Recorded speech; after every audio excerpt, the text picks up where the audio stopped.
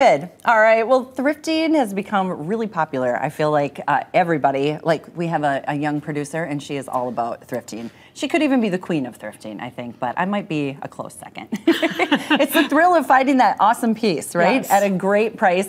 And so you probably know about Savers, Goodwill, some of those, but there are some really amazing boutiques around, like Thrift on Fifth, Absolutely. that has a lot of beautiful pieces. And so thank you so much for being here. Thanks for having me. Yes, and uh, so tell us a little bit about your boutique. So Thrift on Fifth is in the basement of Christ United Methodist Church. Okay. Um, we're only open three days a week, uh, Wednesdays from 4 to 7, Saturdays from 9 to 12. Sundays from 10 to 11. Okay, those are great hours though. Like Fabulous hours. Yep, you can fit one of those in your schedule. Absolutely, yeah. and everything that we have is donated items, um, nice. and all of the money that we make, it's all run by volunteers. It all goes to our child care center. Wow. Um, for a lot of different things, and everything in the store is a dollar, with the exception of kids items that are 50 cents. Oh my goodness. Um, and we have one boutique rack, but actually I like to think the entire store is boutique, but we have yeah. one that's really, sometimes they're brand new items, oh, wow. really designer items, and that one is a whopping five dollars for those items. oh my gosh! Okay, well yes. I got to get over there. Yeah, three full sure. rooms. It's it's amazing. Wow, amazing. little really a hidden gem here we've it got really going on. Yeah, and then all those funds go to the child care center. Every bit of it. Yep, wow. everything is run by volunteers. That's so, really neat. So yeah. it's like a win-win-win. Okay, so we've got the information up that 405th Street Southwest in Rochester,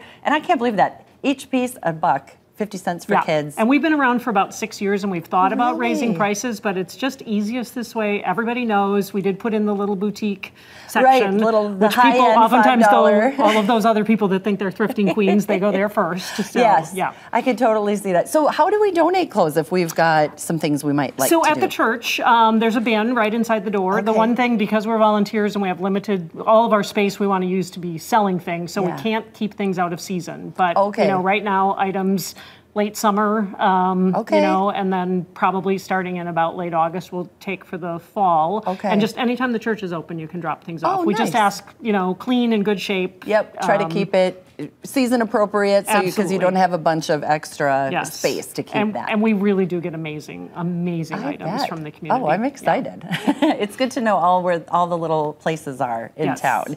And you were telling me this is a thrifted this outfit. This is, is ah. hundred. Well, not the shoes, but everything else, and it is you know, and again, a dollar. I was going to say, so item. this would cost me two dollars. This would be two dollars. It's a pretty pretty snazzy outfit for two dollars. I think so too. and every once in a while we do a half price sale. We just finished a half oh, price, wow. so then it would have been. And we estimate in the two days of our half price sale that we sold over 1,200 items. Oh my gosh, so you're making some money there yeah. too. And so things, you've obviously got an inventory that turns over fast too. Yes, so fast. if you if you were there last week, there might be a completely different inventory this week. So. And people know it. They, oh, they come in and they somehow they and immediately find the new item. And I think, how do you do that? I don't get it. But they're, they're keeping a, shoppers really got a, a mind for those yes. things, for what's in there. Well, thank you so much for being here today. Yes, we're so appreciated. Um, today we've got some trendy